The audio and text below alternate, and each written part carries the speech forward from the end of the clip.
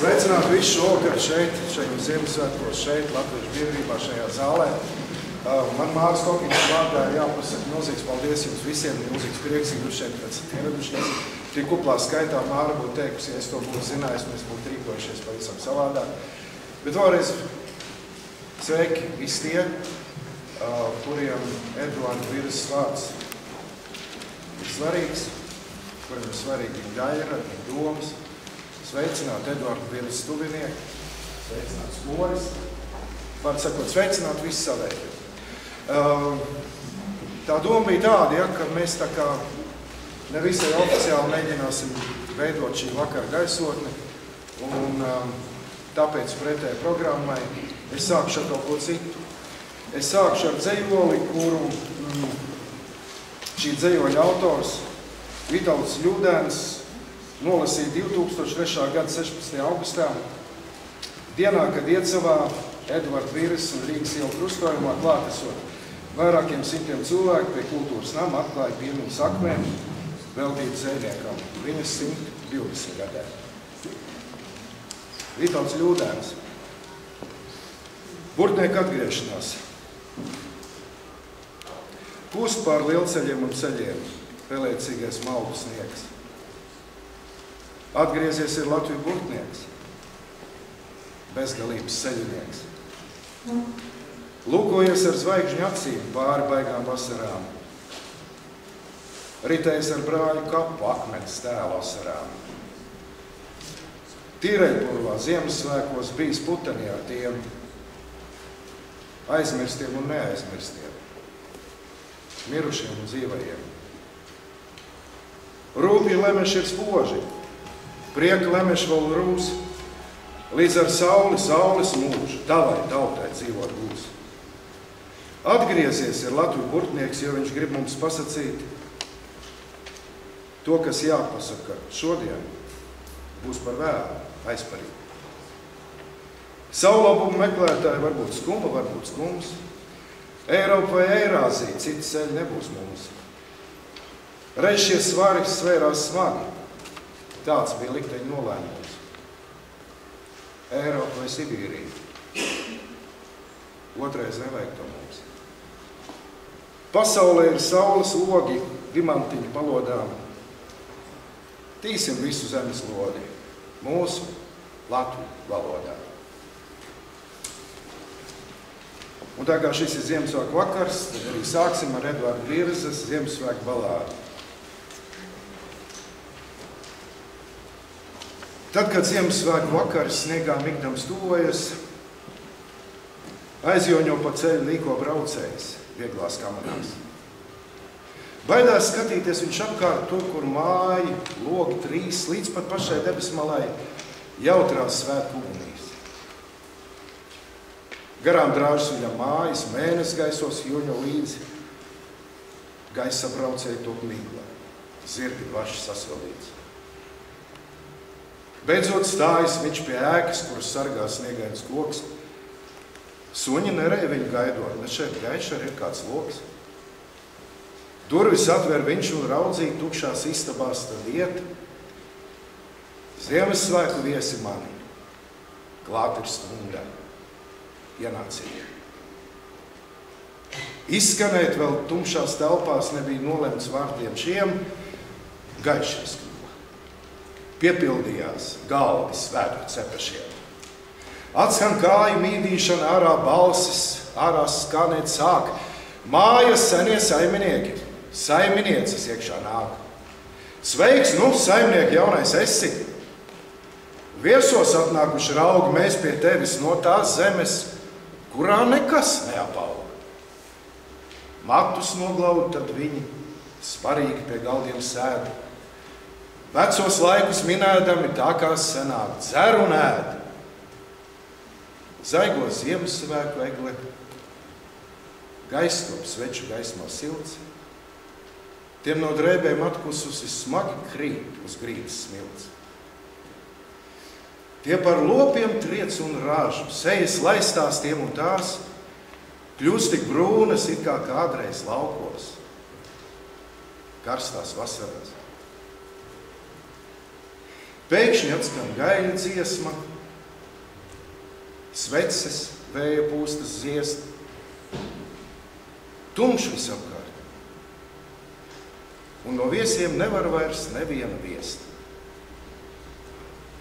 Zila Ziemassvētku ausmu pāri sniegiem tuvojas, aizjoņo pa līko ceļu, braucējs, vieglās kamerās.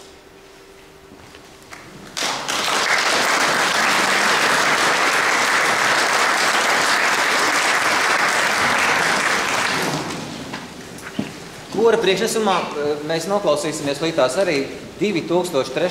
gadā tapušu kompozīciju, kuras sarakstījis ir Leons Amoliņš, un speciāli rakstīts tātad dzimšanas dienā Edvardam Virzam.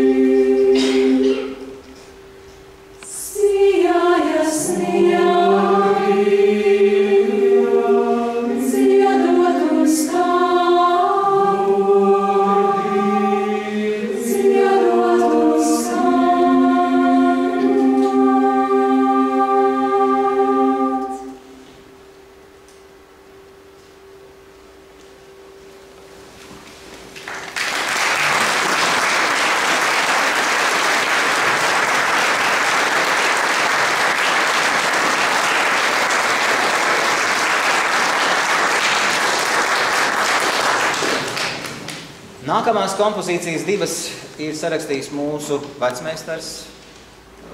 Droši, ka arī tā laika vienaudži viņi bija, droši vien bija kādreiz arī tikušies.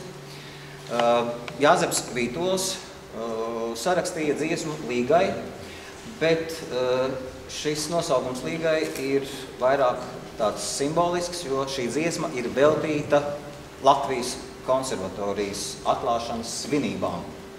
Tātad Edvards Virza, Līgai. Thank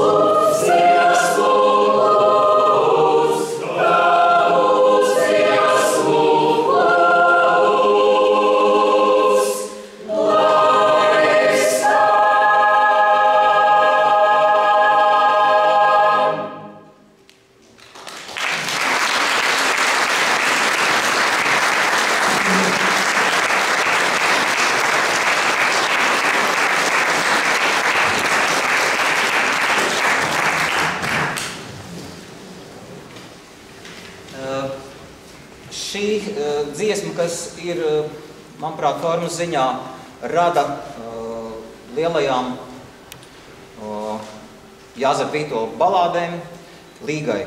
Uh, ir reti varbūt atskaņota, un arī nākamā būs ne retāk vai ne biežāk dzirdētā uh, karoks. Thank you.